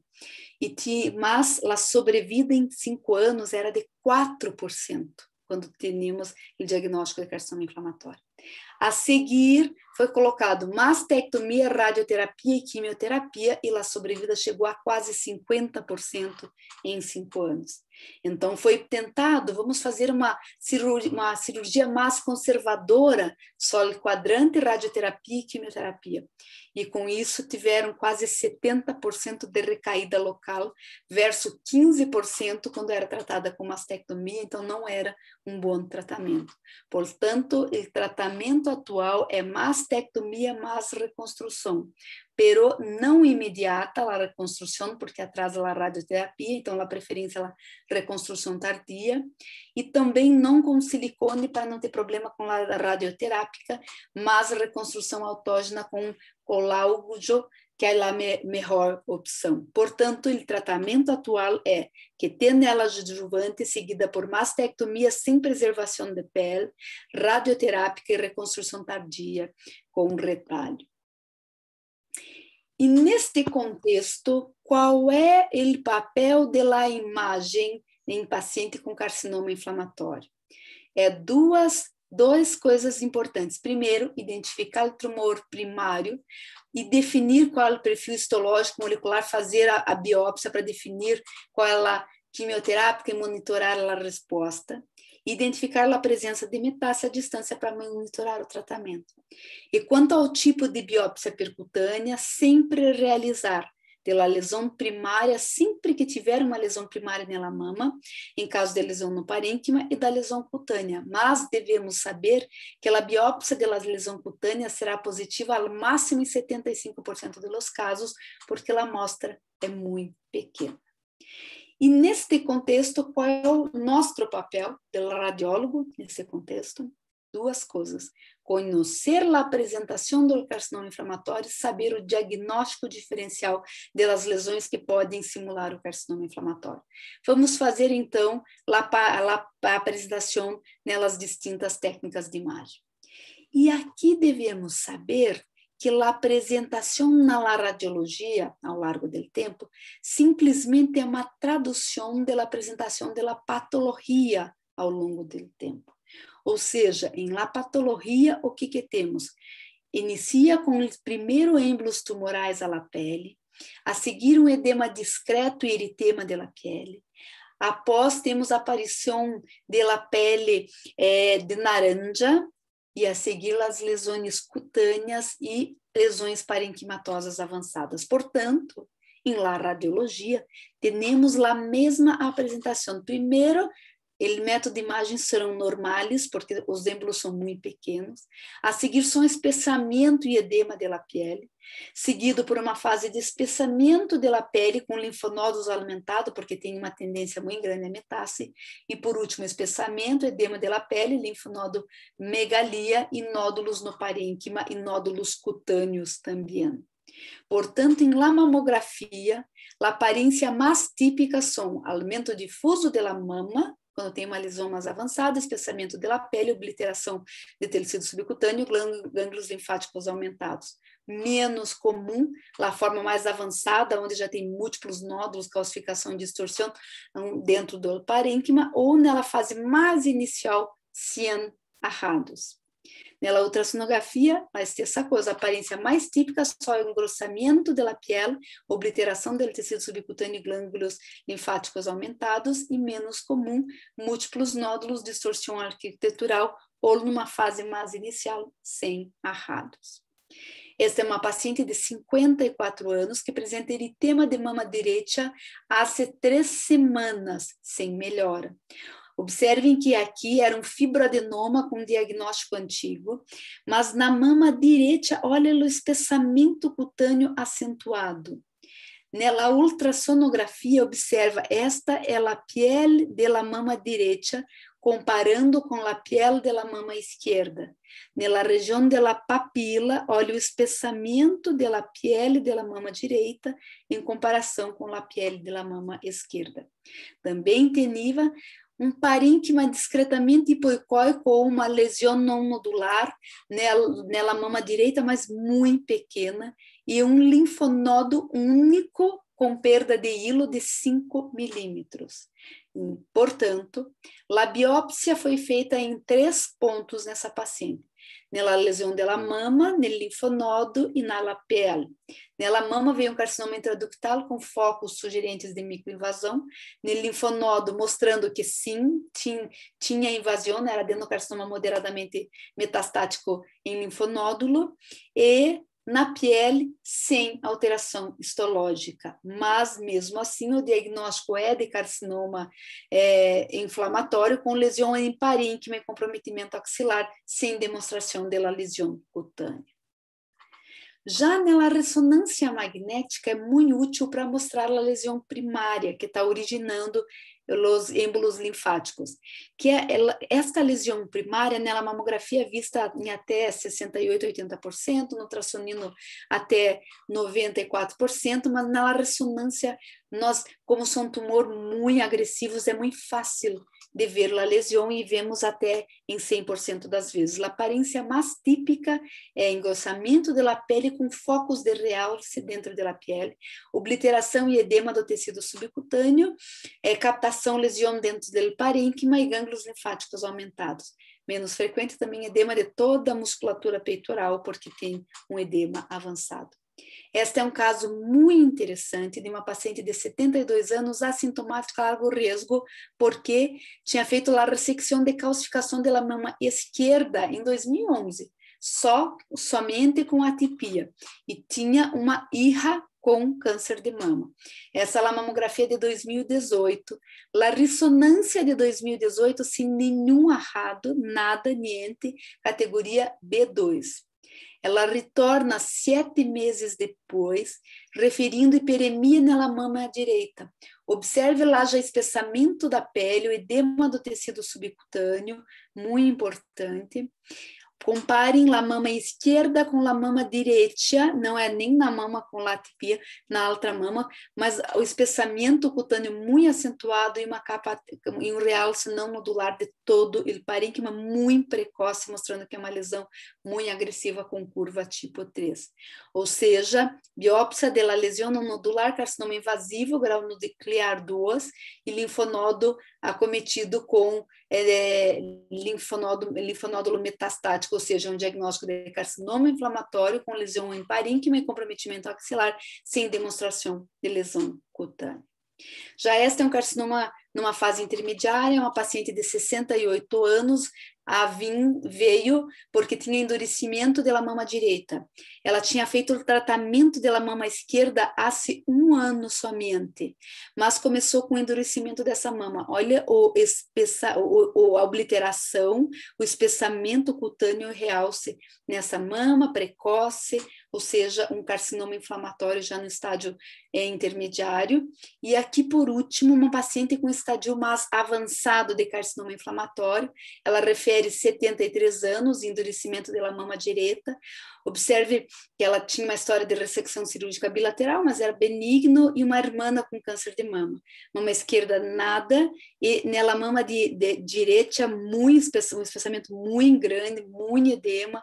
Observem que tinha edema da musculatura, realce do músculo, linfonódulo, de toda a parede, além de lesão em todo o parênquima.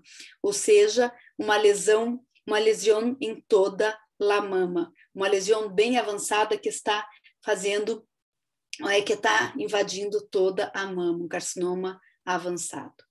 E por último, devemos conhecer o diagnóstico diferencial de lesões que podem simular o carcinoma inflamatório. Quais são as principais lesões? Eritema por processo inflamatório, invasão por carcinoma localmente avançado e radioterápica. Primeiro, pensar é, como diferenciar uma pele com processo inflamatório ou uma mastite com sem abscesso de um carcinoma inflamatório.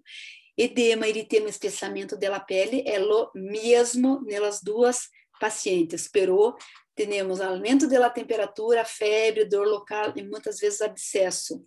Por imagem, muito semelhante, e o abscesso pode muito, muitas vezes ser confundido com neoplasia com necrose qual é o ponto diagnóstico.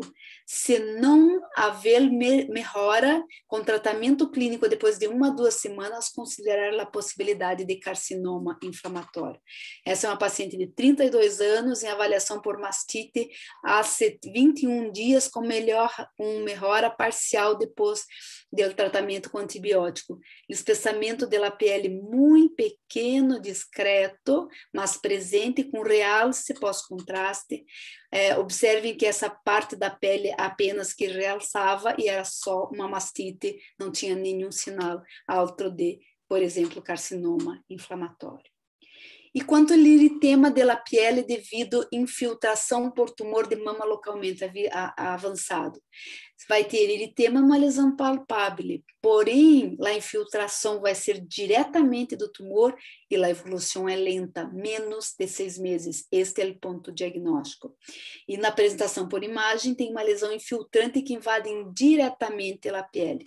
Qual é o ponto diagnóstico? Evolução lenta e tumor infiltrando a pele sem edema de toda a mama. Observem outro caso muito interessante de uma paciente de 34 anos que referia um, um obscurecimento recente da pele. Somente isso, e muito jovem, 34 anos. E sim, tinha um acometimento cutâneo, mas era uma invasão direta da pele. É, é, observem que tinha lesão em toda a mama, mas não tinha edema do restante da pele, era só nessa região, que tinha uma invasão e a parte que a paciente eh, observava era com esse escurecimento da pele. Então, esta não é um carcinoma inflamatório, é um tumor localmente avançado. Outras enfermidades que não são carcinoma inflamatório, ela é Paget, que vai ter lesão no complexo, mas é uma lesão que começa nela papila e tem as células características, histologicamente é outro diagnóstico, e também temos outros tumores de pele, como essa paciente que tinha um carcinoma basocelular e fez uma ressonância magnética antes da cirurgia e mostrava só o acometimento cutâneo, nessuna outra lesão, nenhuma outra lesão ou edema del restante da pele. E por último, e mais difícil de fazer a diferenciação, é edema eritema de la piel pós-radioterapia. La radioterápica, por quê? Porque as duas pacientes te, tendrão edema e eritema de la pele. A diferença é que teremos a história da radioterapia e outra coisa é que os, sintomas têm que retroceder ao largo do tempo, e este é o ponto diferencial. Mas como apresentação por imagem é a mesma, mesma, mesma, espessamento, obliteração e as alterações cirúrgicas. Esta é uma paciente e assim é muito fácil, com alterações discretas pós-radioterapia ela refere tratamento dela de uma neoplasia na mama esquerda há é, já seis anos, um espessamento discreto da pele, nessun realce. Observe como a mama esquerda tem a pele mais espessada que a direita pela la radioterápica, pós-contraste também. Quando retorna um ano depois, o espessaloidema regride e o espessamento também esta é a evolução normal de uma paciente com radioterápica. O problema, problema quando temos alterações mais importantes. Essa é uma paciente de 52 anos que vem fazer um controle assintomática depois de um tratamento com cirurgia radioterápica de um câncer há um ano, há um ano. Observem o grande edema com realce da pele também, olha, focos de realce, mas nessuna lesão, solo edema, obliteração e focos de realce com nessuna alteração clínica, solo a vermelhidão da radioterápica. Então, essas são alterações acentuadas, mas nessuna suspeita de carcinoma inflamatório, mas é mais difícil. Mas mais difícil ainda é quando tem, temos uma paciente como esta, com 70 anos, que refere um espessamento cutâneo progressivo depois da cirurgia com a radioterápica, que terminou há seis meses. Lá a pergunta é: esta é um espessamento cutâneo por radiodermite ou é um carcinoma inflamatório pós-tratamento conservador de um câncer de mama? Observem o acentuado espessamento cutâneo cutâneo muito importante de toda a mama, da musculatura, com realce de la pele, então não é o realce de la pele não é não é um achado que sugere carcinoma inflamatório, pode aparecer em muitas coisas. Será que é uma radiodermites, uma porque tem um escurecimento progressivo ou é um carcinoma inflamatório? Como não tinha mais não, essa paciente não tem mais nada nenhum sinal clínico foi pensado em uma categoria 3, controle precoce, considerando a radiotermites, e ela retorna seis meses depois. O edema reduz, o edema da pele também, realce cutâneo também reduz, ou seja, só uma paciente com radiotermite pós-radioterápica não era carcinoma inflamatório. Este último caso é muito interessante, uma curiosidade, que é uma paciente já com tratamento de neoplasia de mama esquerda e com antecedentes familiares, uma tia paterna também. Então, uma mastecto, adenomastectomia, remodelamento contralateral, e tinha um espessamento solo dessa parte dela mama, bem importante, dela esquerda, que tinha feito, que não fez radioterapia, e nem da direita. Observem como realçava só esta parte da mama. Esta outra parte da mama, não, muito diferente. Nela incidência é, de reconstrução MIP era um realce muito, muito diferente. Mas, quando víamos o coronal, era parecia muito, um, um, lembrava é, il biquíni pós é, um, um, alguma coisa pós-sol nela plaja. E realmente era uma queimadura solar e uma paciente que tinha ido à la plaja. Para finalizar, vamos falar qual é o fluxo de investigação para suspeita de carcinoma inflamatório. Finalizando, se eu tenho uma história clínica, eu tenho que saber primeiro, quando eu pego uma paciente com suspeita de carcinoma inflamatório, qual é a história clínica, duração dos sintomas, tem suspeita de infecção radioterápica, qual é a extensão da lesão, tem lesão palpável também, e vamos pela avaliação pela imagem. Se tem suspeita de carcinoma inflamatório, pode ser negativa ou suspeita de processo inflamatório. Se tem suspeita de carcinoma inflamatório, biópsia da área suspeita. Se for positivo, estadiamento e tratamento. Se for negativo, a ressonância pode ajudar. E se der suspeita, faz a biópsia. Se der negativo ou suspeita de abscesso, trata como um processo, um tratamento para possível mastite. Segue por duas semanas. Melhorou, tranquilo, mastite. Não melhorou, persistência dos sintomas, retorna para avaliação, porque realmente tem que fazer biópsia, porque é suspeita para carcinoma inflamatório. Em conclusão, carcinoma inflamatório é uma entidade clínica patológica com prognóstico reservado que deve ser considerado quando tem eritema e edema de evolução rápida. Nosso papel é excluir causas benignas de espessamento e edema, assim como contribuir à correta estratificação e planificação terapêutica. A mamografia sempre é o primeiro exame pela avaliação. O ultrassom é útil para guiar biópsia. A ressonância deve ser reservada para casos em que a mamografia e ultrassom não detectaram a lesão. Pero é imperativo conhecer a patogênese do carcinoma inflamatório para termos mais terapias específicas e realmente melhorarmos o prognóstico deste grupo de pacientes. Muchas gracias a todos.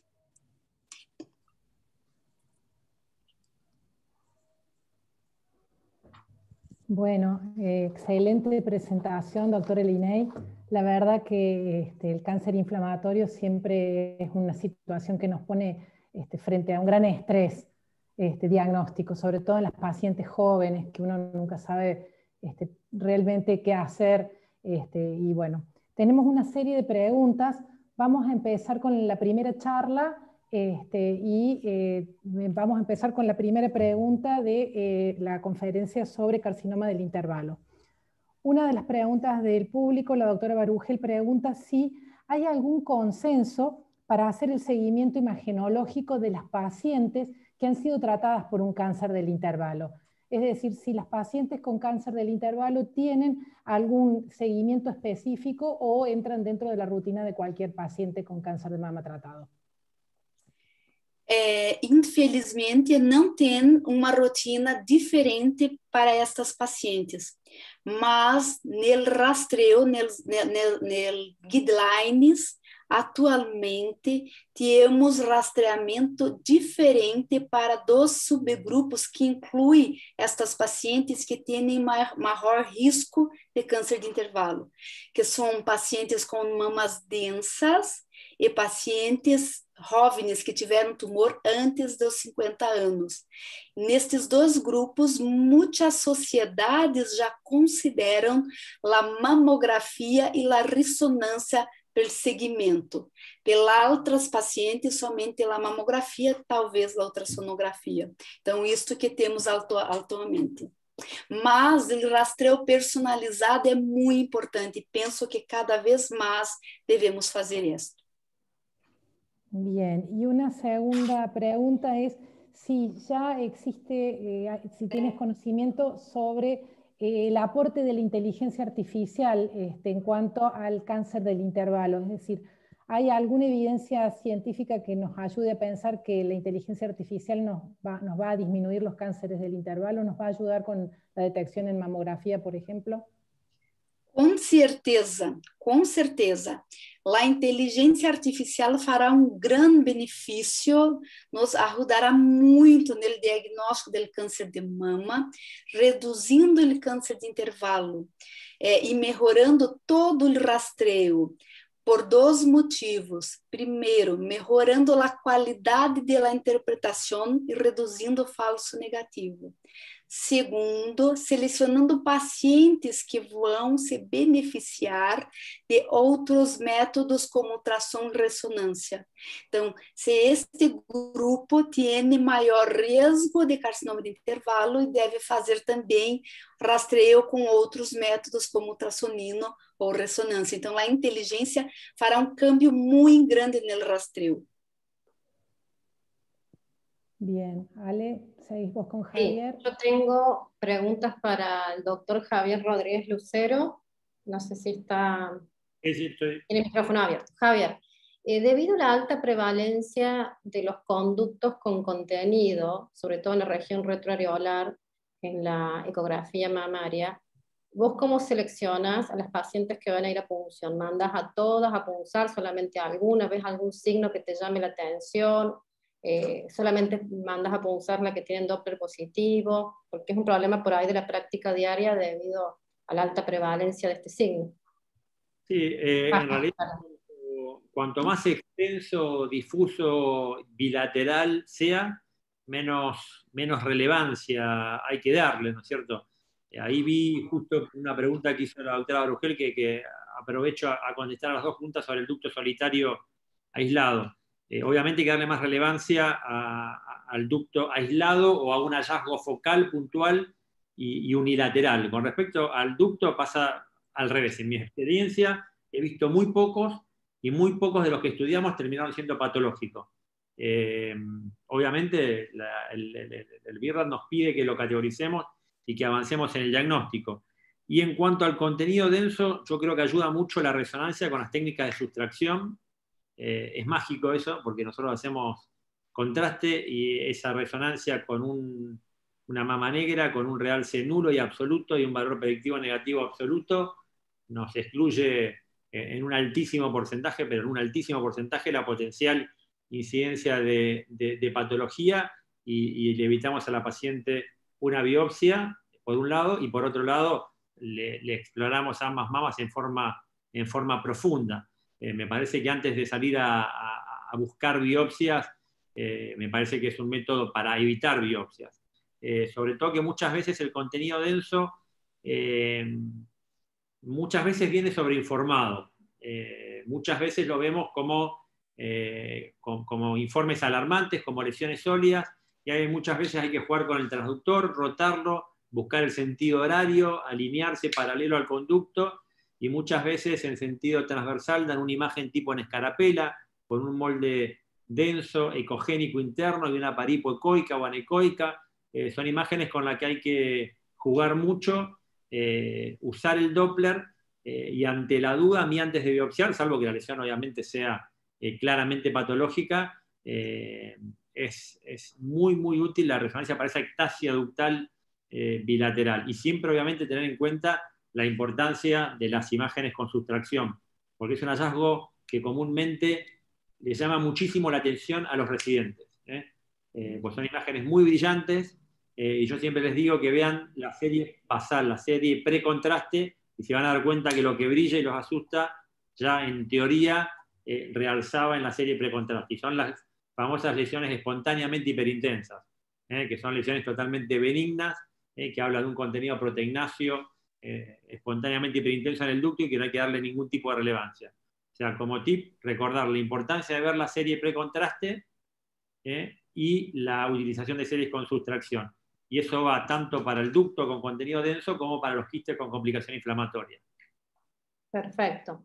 Otra pregunta, Javier. Eh, en relación a la práctica diaria, en relación puntualmente a las obras sociales y al tema costos, ¿utilizas siempre en, tu práctica diaria la punción por vacío en el caso de las microcalcificaciones o de rutina utilizas CORE? Si bien sabemos obviamente que el gold standard es la punción por vacío. Sí, bueno, en nuestro medio, hoy, marzo 2021, Rosario, tengo la suerte de todo lo que sea calcio, ir a buscarlo con vacío. ¿eh? Eh, pero soy consciente que es una dificultad económica. Eh, nosotros, sobre todo, cuando el, esto por ahí es poco académico, pero es muy práctico, cuando el dólar voló a, 200, e incluso ahora algunas obras sociales que pagan un módulo completo por, por lo que es la, la punción en sí, que incluye honorario médico, honorario patólogo, descartables, aguja y demás, el costo solo de la aguja superaba al costo del módulo, o sea que se iba a pérdida haciendo esos procedimientos.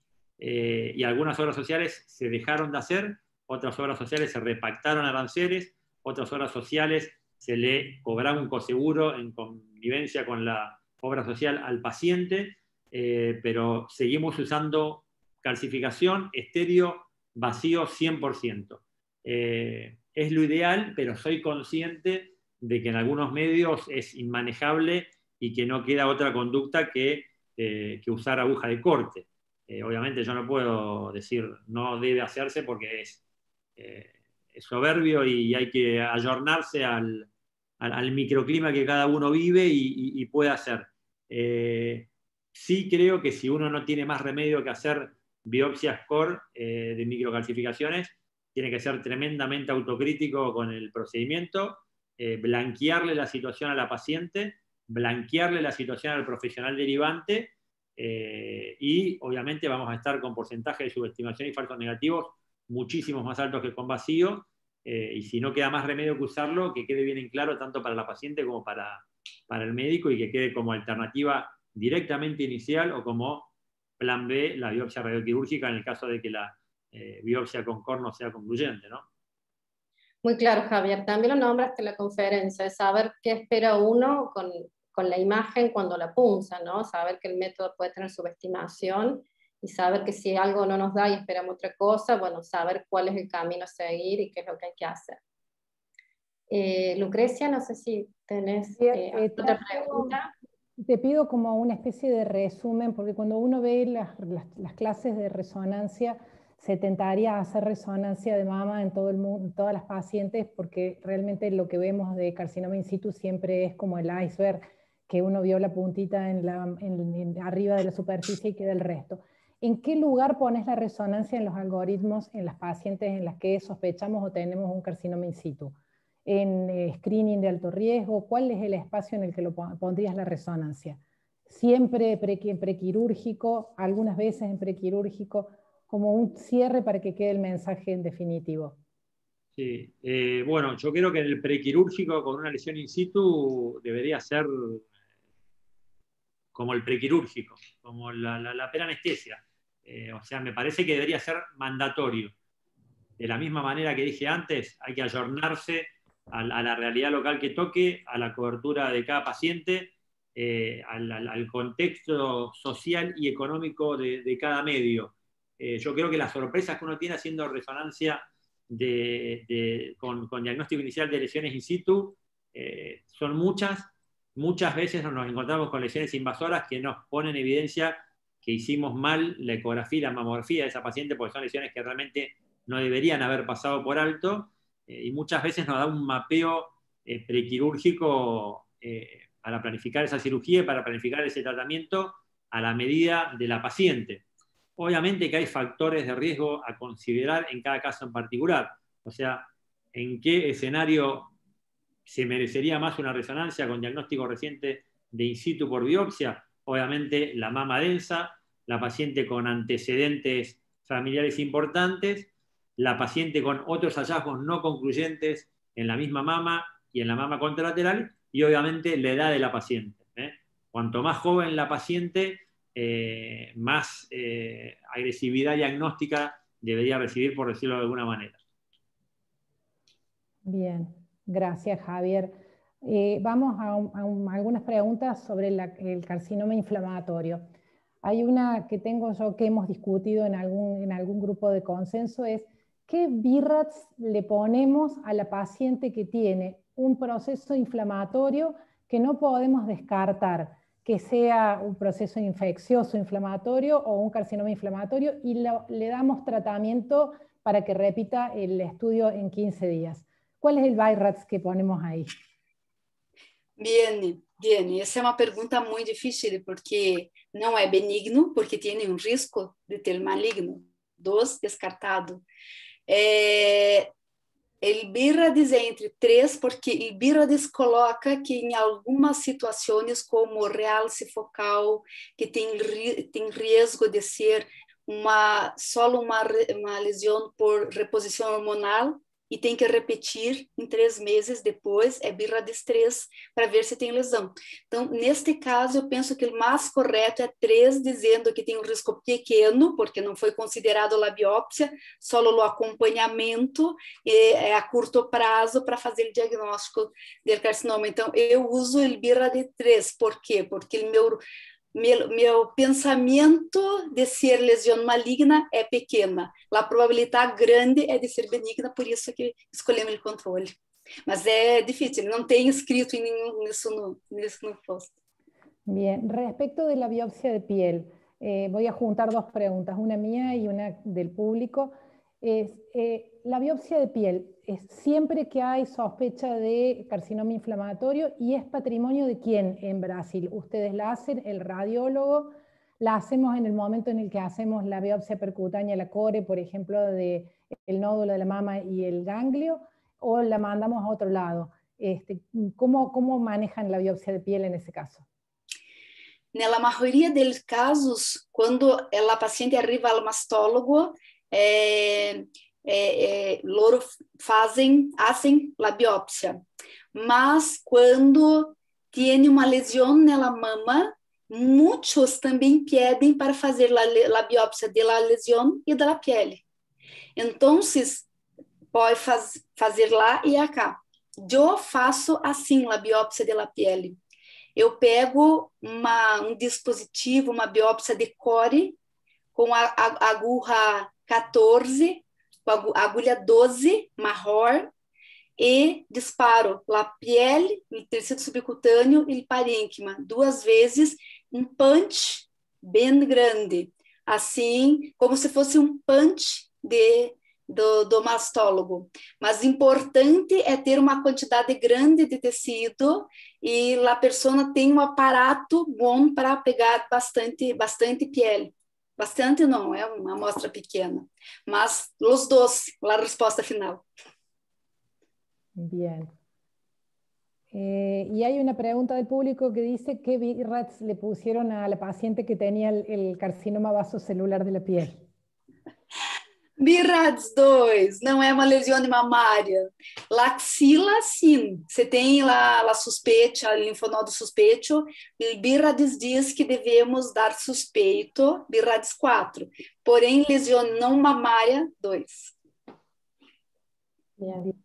Ale, ¿querés hacer algún comentario? No, no, creo que no hay más preguntas. Este, bueno, y ya siendo las 8 menos cuarto de la noche, eh, bueno, vamos a cerrar el webinar. Le agradecemos a los dos oradores, también a la comisión organizadora, la, la doctora Lucrecia Balarina, la doctora Gisela Barugel, que están acá presentes, y a los oradores, por supuesto, la doctora Lina Urban y al doctor Javier Rodríguez Lucero. La verdad que han sido magníficas charlas, muy claras, se nota que hay mucho trabajo por detrás, así que muy agradecidos por el apoyo a esta sociedad. Y los esperamos a todos mañana eh, a la misma hora, 6 de la tarde, hora argentina, para eh, la doctora Lina y con el doctor Cícero Urban. Van a presentar casos interactivos muy interesantes y van a comentar, van a ser los panelistas el doctor Javier Rodríguez Lucero y el doctor Antonio Tejerina de España. Así que muchas gracias y nos vemos mañana. Gracias. Gracias. Eh, gracias. Adiós. Tojo